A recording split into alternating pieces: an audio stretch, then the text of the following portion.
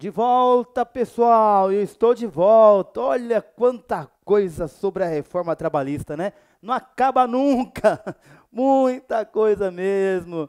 Mas vamos lá, vamos procurar aqui explorar tudo aquilo que a reforma trabalhista trouxe como novidade para 2017, novembro de 2017. Tudo aquilo que então a reforma trabalhista mudou na CLT em diversos temas do direito material do trabalho. Já estudamos direito processual. Olha quanta coisa agora em direito material, né, gente? E aí, mais um tema na lousa. Olha que bonitinho aí, ó. Compensação de jornada de trabalho. Eita, vamos lá, mais um tema comigo, Roberto Conceição. Já enjoou de mim? Ainda não, né? Tá à noite aí, muita gente fala, passo a noite com o negão. Opa, brincadeira, né? Vamos lá.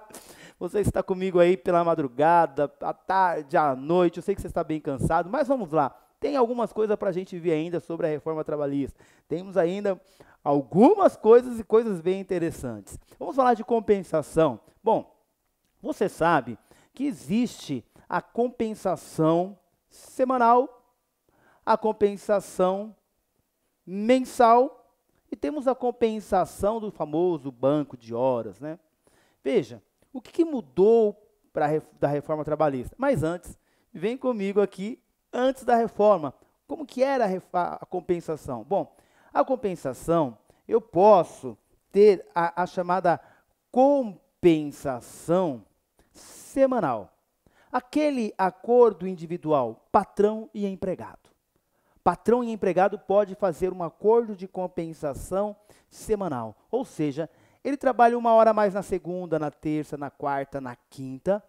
Quatro horas a mais, né? Segunda, terça, quarta, quinta, para não trabalhar aos sábados. Isso é permitido? É. Sem problema. Chamada jornada inglesa. Você não estudou isso ainda no curso regular? Estuda comigo lá. Você vai ver que eu explico direitinho para você, bem detalhado. Bom, jornada inglesa é permitida? É. Trabalho Segunda mais, terça uma hora mais, quarta uma hora mais, quinta uma hora mais para não trabalhar no sábado. Porque a compensação é isso. Você trabalha horas a mais em um determinado dia para trabalhar horas a menos em um outro dia. Existe também a jornada espanhola. É, tem também a compensação espanhola, onde ele trabalha às 8 horas normais, de segunda a sexta, e sábado ele trabalha 8, totalizando 48 horas em uma semana. Na outra semana, ele trabalha 8 horas normal, de segunda a sexta, e não trabalha ao sábado, 40 horas. Então, entre uma semana e outra, são as 44 horas. Então, não ultrapassa as 44 horas semanais, que é a jornada constitucional, a jornada, a jornada tradicional. Isso é a compensação semanal. Essa compensação pode ser feita por acordo individual patrão-empregado. Só que essa compensação, ela tem que ser uma compensação escrito. Tem que ser por escrito, tem que ser formal, tem que formalizar essa compensação. O empregador assina e o empregado assina. Tem que ter essa formalidade. Roberto, antes da reforma, e se não tiver essa formalidade, o que, que acontece sem essa formalidade? Aquelas horas que ele fez para compensar o sábado, ele não ganha como hora extra porque ele compensou. Mas se não tiver preenchido as formalidades, o que, que ele recebe? O adicional de 50% daquela hora que ele compensou. Ele não recebe hora extra, mas ele recebe o adicional de 50%, um plus, porque aquela, aquela compensação está, estava de forma errônea. Não obedeceu o que está previsto na CLT, que tem que ser escrito, artigo 59. Acordo individual tem que ser escrito. Muito bem. Qual outra compensação que nós temos, Roberto? A compensação anual, o banco de horas. Antes da reforma, antes da reforma, antes da reforma, banco de horas só poderá, poderia ser instituído por convenção ou acordo coletivo. Preciso de uma convenção e de um acordo coletivo para estabelecer o banco de horas. Não poderia ser por acordo individual. Não. Banco de horas só através de uma convenção ou de um acordo coletivo. E se não tivesse uma convenção, um acordo coletivo, lá do 59, parágrafo 2 da CLT, e se eu não tenho um acordo ou uma convenção coletiva, aquele banco de horas é considerado nulo. Não posso considerar aquele banco de horas. Aquele banco de horas não tem validade. não seguiu as formalidades legais. O empregado pode pleitear hora extra, porque é um banco de horas que não seguiu o que estava previsto no artigo 59, parágrafo 2 Tudo isso antes da reforma. E agora, com a reforma, como que fica, Roberto?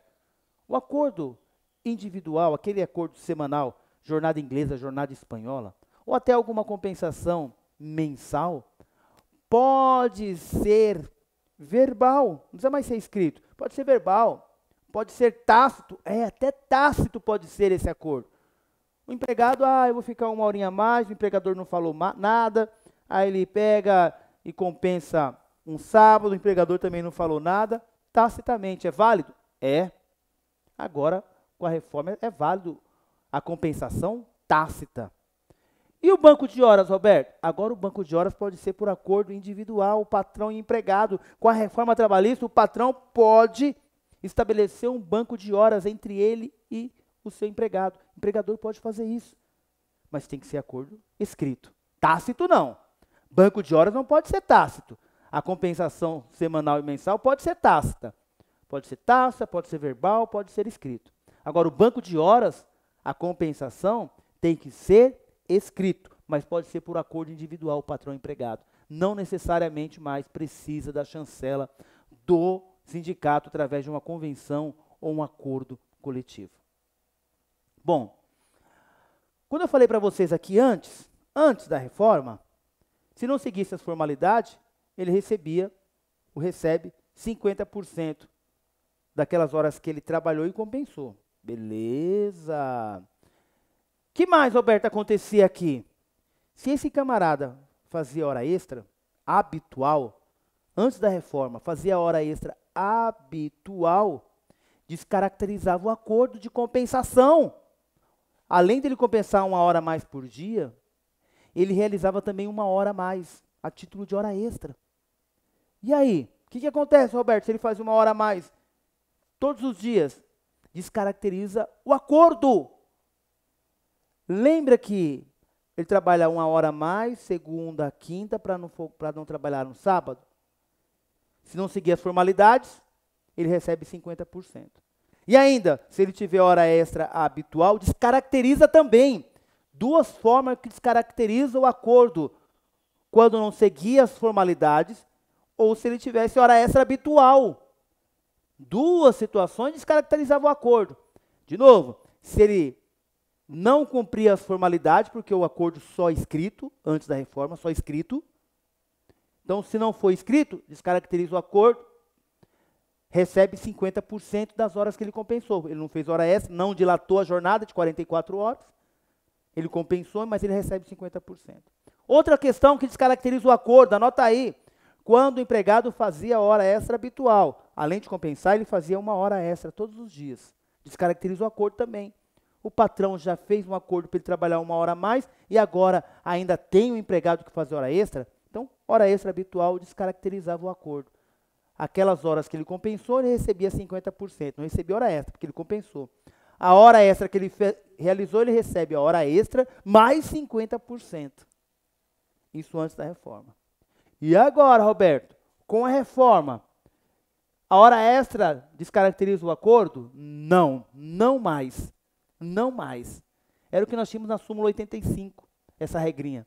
E aí o que, que trouxe para a reforma? A súmula 85. A súmula 85 dizia que a hora extra descaracterizava o acordo. Agora, esse item da súmula 85 cai e a hora extra habitual não descaracteriza mais o acordo.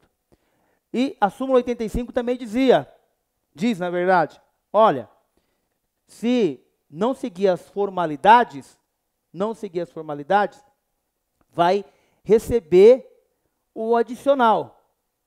Vai receber o adicional. Só que agora não tem mais formalidade. Pode ser até tácito. Né? Vamos dar uma olhada aqui como ficou a regra da compensação de jornada? Antes, antes da reforma, vem comigo, antes, antes da reforma.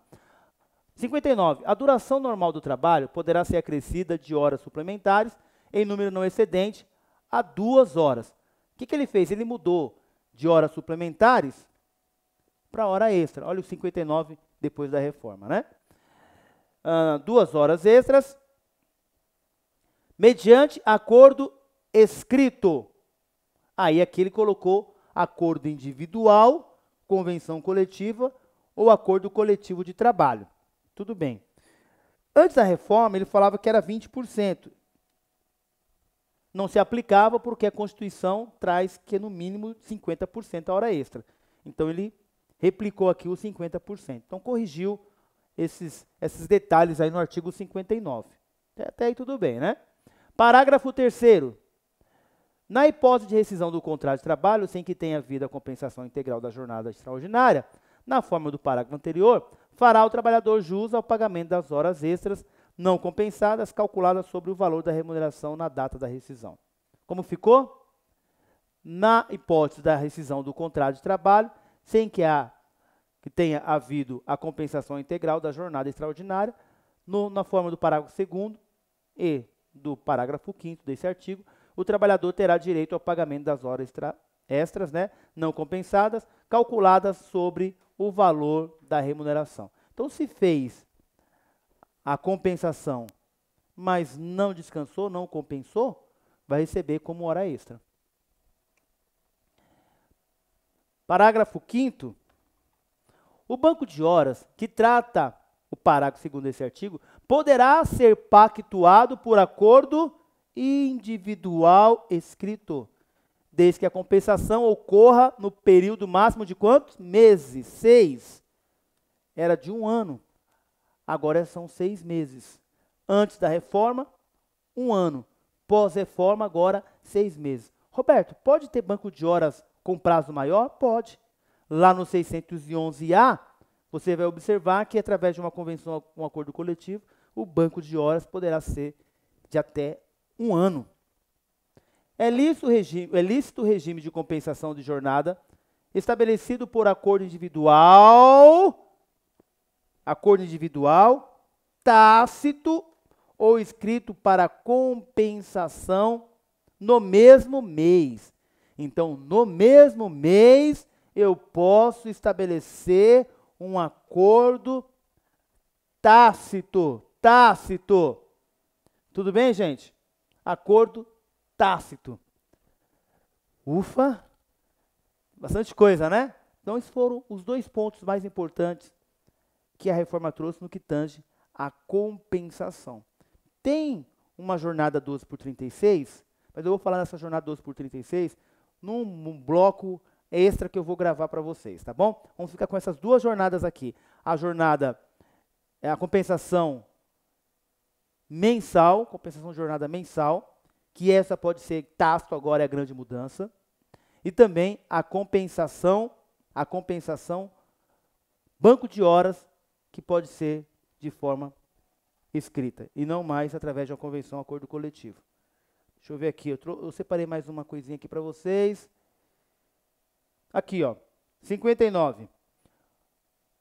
O não atendimento das exigências legais para compensação de jornada, inclusive quando estabelecida mediante acordo tácito, não implica a repetição do pagamento das horas excedentes à jornada normal, diária, se não ultrapassada a duração semanal sendo devido apenas o respectivo adicional. Então, quando, antes da reforma, o empregado é, não, o empregador não cumpria as formalidades, o que, que ele recebia?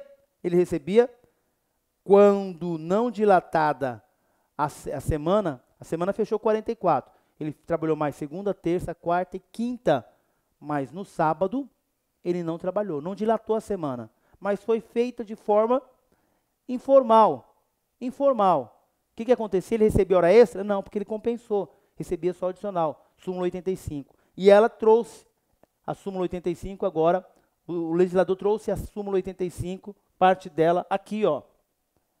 Então, olha lá, não atendidas as exigências legais para a compensação de jornada, inclusive quando estabelecida mediante acordo tácito, não implica a repetição do pagamento das horas excedentes à jornada normal diária, se não ultrapassada as 44 horas semanais, né? Sendo devido apenas o respectivo adicional. Beleza. Agora, só o adicional. Só o adicional. Descaracteriza o acordo, mas só recebe só o adicional. Parágrafo único. A prestação de horas extras habituais, agora a súmula foi contrariada e modificou aqui, porque na súmula 85 fala que a compensa, a hora extra habitual descaracteriza o acordo. Descaracteriza. Agora ele está dizendo aqui, ó, a prestação de horas extras habitual não, não, não, não descaracteriza o acordo de compensação de jornada e o banco de horas. Fechou? Vamos falar do intervalo intra-jornada, mas no nosso próximo bloco. É rapidinho, eu já volto.